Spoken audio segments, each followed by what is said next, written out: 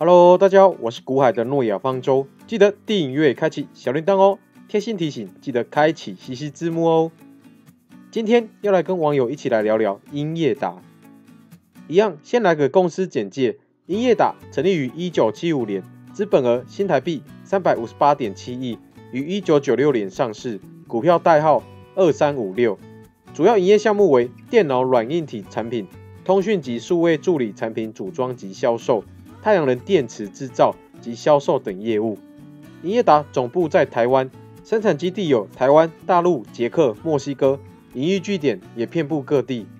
一百零八年度的营业比重，电脑产品占比九十九点一八 percent，太阳能只有零点八二 percent。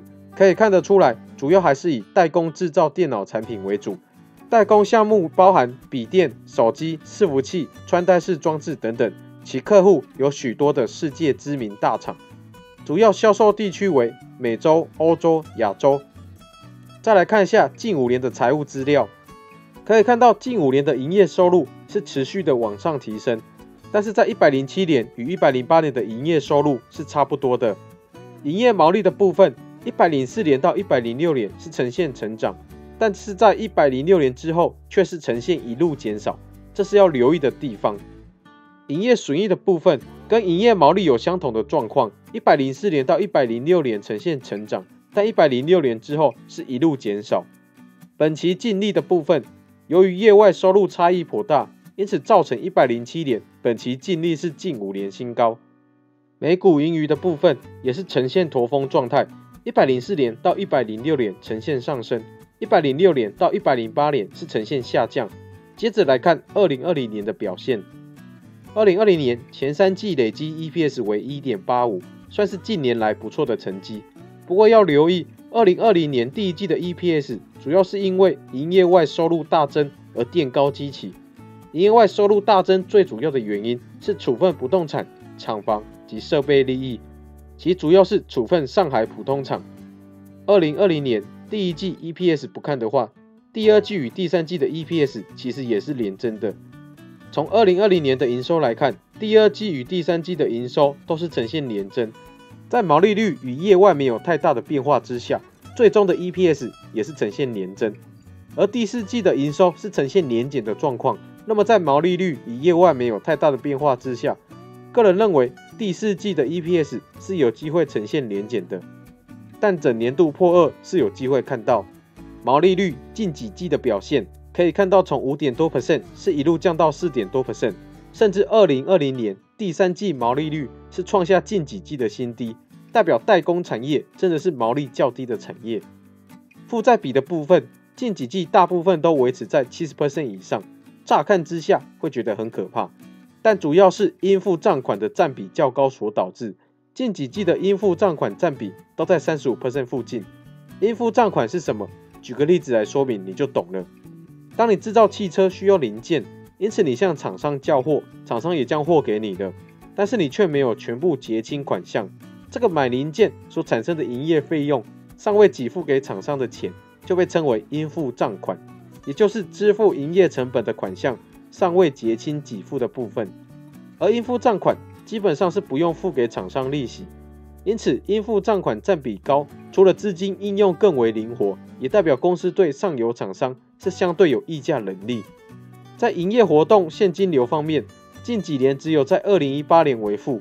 仔细看一下现金流量表，主要是应收账款与其他应收款增加，代表该收的钱还没收进来，所以现金流量表这里要扣掉这些项目，还有流动负债减少。代表有还钱，现金就变少了。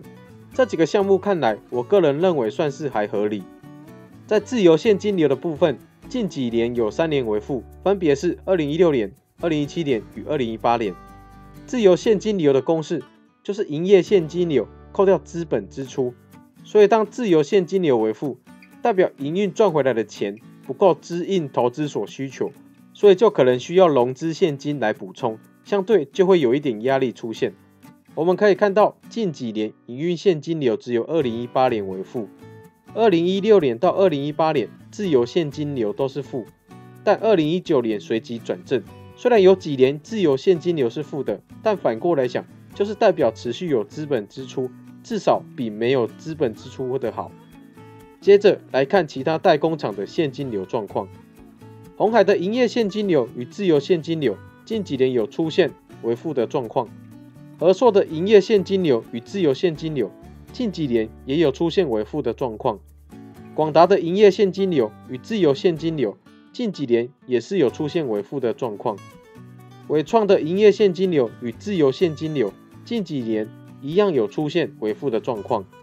人保的营业现金流与自由现金流近几年也是有出现为负的状况。所以我们可以知道，代工业不止除了毛利较低。也连带在营业现金流与自由现金流的表现上，就有较大机会会出现负的。台积电的营业现金流与自由现金流的表现就很好，联发科的表现也是呈现正的。理论上，在毛利越高的产业，代表营收转为真正的净利就会越高。所以理想的情况，当然是营业现金流与自由现金流都为正的状况最好。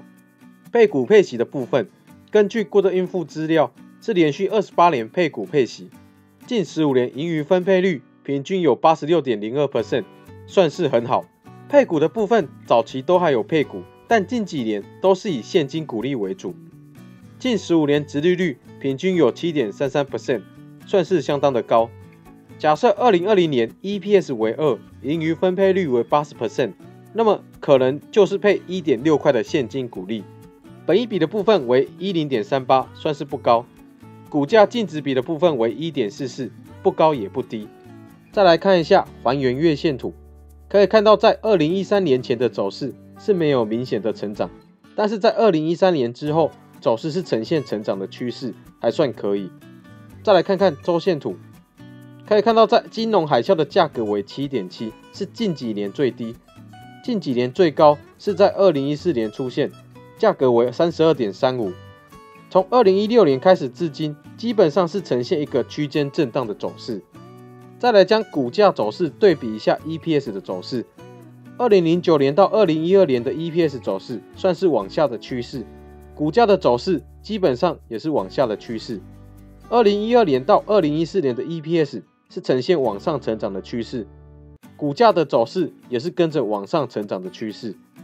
二零一四年后 EPS 的走势呈现震荡。股价的走势也跟着震荡，所以在英业达 EPS 变化不大的情况下，股价基本上还是会跟着 EPS 的走势一样，就是区间震荡的走势。由上述的例子，我们可以知道，股价还是跟基本面有呈现正相关的关系。从日线图的角度来看，近几年的走势大概是在二十到二十七点五这个区间在来回震荡，所以 EPS 维持在二附近。且没有太大变化的前提之下，股价的走势应该也是维持在这个区间震荡的走势。以上的资讯分享给各位朋友喽。本频道没有建议任何买卖操作，单纯分享资讯。以上分享皆为个人心得，本人无邀约推介之行为。今天的影片就到这里啦，喜欢我影片的朋友记得订阅、开启小铃铛哦。如果有想要分析的个股，也可以留言让我知道哦。咱们就下次见啦，拜拜。